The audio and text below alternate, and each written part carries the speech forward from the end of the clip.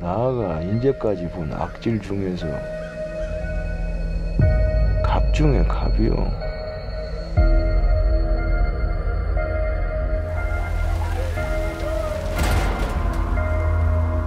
요새 자꾸 동네에서 사람 죽어나가는 거. 싹 다 그 일본 양반이 오나 새끼 일들 아니오.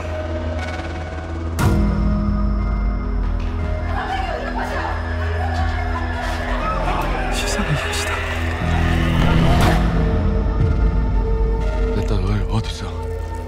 잠만한 비상형. 그때 증상이 사람들이라. 아까 무당한테 댕겨왔네. 집안에 귀신이 들었대요.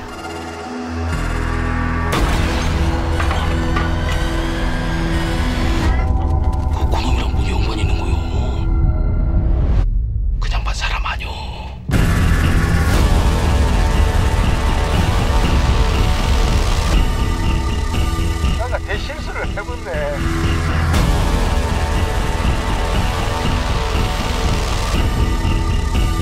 여긴 못 들어온겨.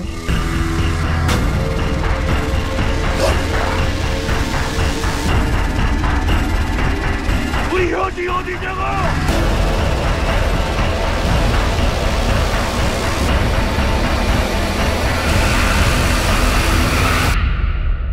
마음 단단히 먹어야 되네.